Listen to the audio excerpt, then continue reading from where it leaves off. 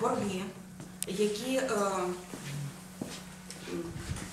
за які говориться зараз, це 341 мільйон гривень, е, які були отримані попереднім виробником теплової енергії ТОВ ГК Нафтогаз Трейдинг.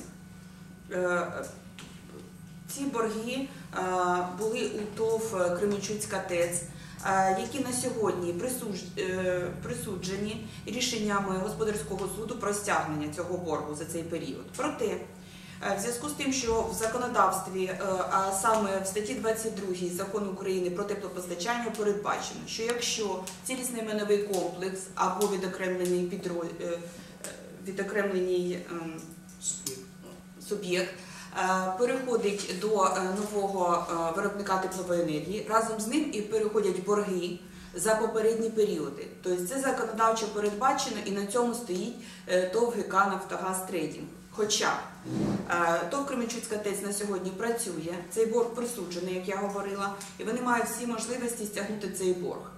Е, Полтава Теплоенерго отримало е, цілісний майновий комплекс відповідно до рішення Полтавської обласної ради.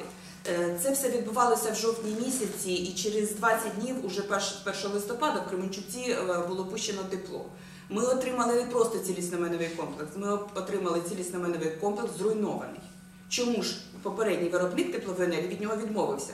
Тому що в зв'язку з військовою е, агресією Росії е, був зруйнована частина цього комплексу, вони від нього відмовилися. І тому е, Полтава Теплоенерго передали цілісноменовий комплекс, який не можна було використовувати зразу. Тобто питання боргу тоді не стояло про перевід боргу, який говорив наш директор. Ми не знали про ці борги, тому що ми вжили всіх заходів, щоб заключити договори, які необхідні. Е, для на вироблення теплової енергії це електроенергія, вода, природний газ, е, транспортування, тому що е, транспортування від цього виробничих цих потужностей до міста це значна відстань. В кілометрах, яка визначається, не буду говорити зараз скільки, але це багато кілометрів. І ця вся теплова мережа була як е, решето. І ми це все зробили, як виробнича служба спрацювала, відремонтувала, щоб е, пустити тепло, так і всі інші служби для того, щоб е, здійснити це теплопостачання лівобережної частини міста Кременчука. Тому борги не розглядались на тому етапі взагалі. І в зв'язку з цим, мабуть, е, тому що це все було екстрено, це було е, 1 листопада, був заключений договір з ТОВК Трейдінг у 22-му році без боргів. Е, Так, були питання про переведення боргу, але ми їх обґрунтовували, вони нас е, якби почули. Е, Проте вже в 23-му році, коли ми заключали договір на постачання природного газу на опалювальний період 23-24, е, договір підписано з умовою, з умовою того, що 31.12 до 31.12 ми передамо цей цілісно-меновий комплекс іншому господарюючому суб'єкту, який визначить Кабінет міністрів.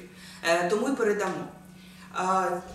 Все, що від нас можливе, ми зробили. Обласна рада теж зробила, що могла, як власник нашого підприємства. Вона звернулася з листом, надала всі відповідні інформації, проте рішення було не прийнято. І тому з 1 січня у нас договір до 31 грудня 23-го, він не пролонгувався, ТОВ ГК е, Нафтогаз Трейдінг категорично е, не хоче заключати договір з нами новий.